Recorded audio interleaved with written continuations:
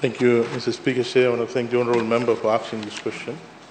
First of all, Mr. Speaker, Sir, I want to respond to some of the um, uh, statements and comments made in Parliament yesterday by Honourable Kuridrani and Honourable Biman Prasad in response to my ministerial statement. Mr. Speaker, Sir, Honourable Kuridrani, as usual, you know, was all over the place, you know, and asking why one, uh, why was the, you know, allocation for uh, cold storage facility at Kavanagasau and uh, in Ba was not provided for. Mr. Speaker said it won't be provided for. Let me explain, Mr. Speaker said. The Speaker said we've got three cold storage facility constructed uh, at the expense of the ministry lying idle. In KRC, the cold storage facility is lying idle, functioning well, waiting for people to grow horticultural crops and store it there. Joe's farm was collecting it from there. And Joe's farm got frustrated that they go all the way up and don't find anything or sometimes nothing. Mr. Speaker say you go to KSC now, you'll find this cold storage facility, 45,000, uh, the facility is there. There are two cold storage facility in, uh, in uh, station in, in Sigatoka, again lying idle, sometimes only is used because farmers have their own. Mr. Speaker say, what is the function of a cold storage facility? When you have fresh produce, when you have fresh produce, if you can't get it to the market, then you want to store it. You want to delay uh, the, the delay the, the, the process of uh, you know uh, the, the that will you know worsen the quality of the particular fresh produce is perishable in nature. So Mr. Speaker said, Kavanagasau is about three kilometers from the Sigatoka market. Nukuloa, Nukuloa, Nukuloa is about you know, three, two kilometers, Tahsil Road from Ba Market. Why do we need a cold storage facility there, Mr. Speaker say? Instead, we are assisting... What's your plan? Instead, don't ask, I mean, it's not there in the budget, you should have asked me.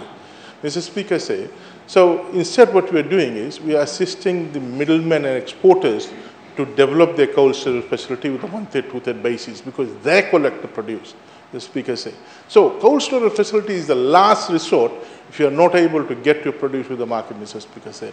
And there's a lot of problems when you have this facility on a communal basis. People are not looking after, people are not paying the due, etc. Mr. Speaker say, Honorable Biman Prasad, as usual, didn't do his homework, came up with wrong numbers, wrong figures, Mr. Speaker say. Mr. Speaker say, Honorable Biman Prasad yesterday said that, uh, you know, there are uh, 71,163 households. Totally incorrect. Answer the question. He hasn't, you know, the problem is, problem is, Mr. Speaker say, I said it last week, in the last sitting as well, they didn't bother to read the census report, which will be table in Parliament tomorrow, which is available from last four weeks you know, a soft copy on our homepage, Mr. Speaker said. You should have, you should have got the right number. Secondly, Mr. Speaker said, Mr. Prasad said that 93% of the farmers in Fiji are subsistence. Mr. Speaker said, you, what's wrong with him? How can you have 93% of the farmers in Fiji subsistence farmers, Mr. Speaker said? He's talking about 1950s or 1940s, Mr. Speaker said. Mr. Speaker said, 2009 agriculture census, 80% was subsistence. 2017 population census, 65% were subsistence farmers. 2020 agriculture census, 59.9% are subsistence farmers, Mr. Speaker. Where did they get this 93%? From the newspaper article, Mr. Speaker said?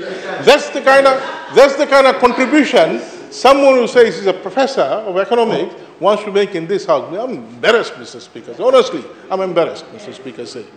Mr. Speaker said, this is the kind of contribution we get from people like you know, Honorable Prasad, not only on agriculture matters, but also other matters, other subject areas, Mr. Speaker said. Mr. Speaker said, I want to make this uh, statement here that when academics speak in public, people look upon them because they are qualified, they're supposed to have done research and publication, they're supposed to develop a, a, a, a knowledge, Mr. Speaker say. It's academics, it's researchers who are supposed to develop new knowledge, Mr. Speaker say. And when they speak, they must speak with responsibility, Mr. Speaker said, because they will sway public opinion. They should not make willy-nilly statements, Mr. Speaker said, without doing thorough research. Mr. Speaker said they could have, they could have got the uh, census report. They were harping about it. Where is the census report? Where is the census report, Mr. Speaker said.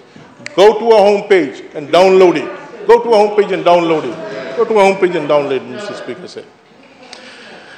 Mr. Speaker said, Mr. Speaker said, um, Order. Mr. Speaker said, look at our dress code. Is this Order. parliament? This Order. is not a flea market. This is not a flea market. Order. Order. Honorable Speaker, point of order. Order. order. Point of order, Honorable Speaker. The Honourable Member needs to withdraw that comment. It's totally unparliamentary and offensive.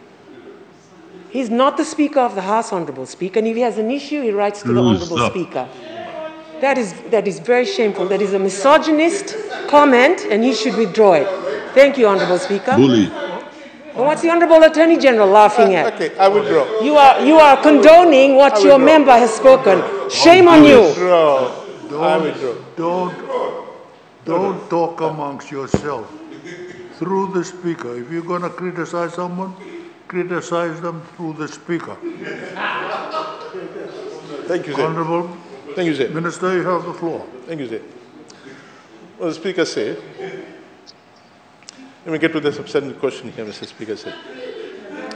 Mr. Speaker said, Mr. Speaker said, with the second round of COVID-19, farmers were requesting that on the other side of the border, that we need to buy agricultural input, particularly fertilizer and pesticide and they were not able to get to the, uh, uh, the outlets in town. Some of the outlets was not open, and those who were open were charging exorbitant prices, Mr. Speaker said. And as you, as you know, Mr. Speaker said, we had kept agriculture moving. We, have, we kept containers moving so that our exports will continue and bring in foreign, foreign currency, Mr. Speaker said. And in fact, in fact, last year, we raised exports by 25%, Mr. Speaker said, in, in, in dollar terms, Mr. Speaker said and 16% in actual volume, Mr. Speaker said. And we were on the ground, despite the crisis, Mr. Speaker, observing all the protocols of Ministry of Health, we're on the ground facilitating production, supply, and exports, Mr. Speaker said. So we did not want that particular process to be affected, Mr. Speaker said, just because they didn't have fertilizer, Mr. Speaker said. Mr. Speaker said, we organized the transportation of 103,000 um, uh, uh, 103 uh, uh, uh tons of uh, fertilizer to the farmers, Mr. Speaker, said, at X factory price, Mr. Speaker, 30% less than what they would pay to the, to the hardware shops and to the other outlets which, would provide, which were providing fertilizer and pesticide, Mr. Speaker said. Mr. Speaker said it was not a simple operation, Mr. Speaker said. We had mobilized about, about 40 staff, Mr. Speaker, say. We utilized our own ministry's truck, we, uh, trucks. We spent about $8,000, our own you know, fuel and uh, all the expenses, Mr. Speaker, say, to cart fertilizer from Lautoka right to the interior of you know, Naitasiri, Tailevu, etc., Mr. Speaker, so that farmers there are able to uh, get it. Mr. Speaker says, so uh, what we did was we took the orders and then we gave the orders to the fertilizer company. We picked up, we delivered it at expected price, and then collected the money and gave it back to them, Mr. Speaker says. So we basically uh, facilitated this, and farmers were very happy. We did it three times, Mr. Speaker said. We're looking at you know, uh, doing it on a quarterly basis so that you know, farmers are able to get this. And it's becoming, uh, it's called Operation West Cross, Mr. Speaker said, and this operation is becoming very popular and uh, we would want to continue to support our farmers with respect to getting inputs on time, Mr. Speaker. So this is in addition, Mr. Speaker, say, to the organic fertilizer that we are uh, delivering at no cost to the farmers in the interior. Thank you, Mr. Speaker. Sir.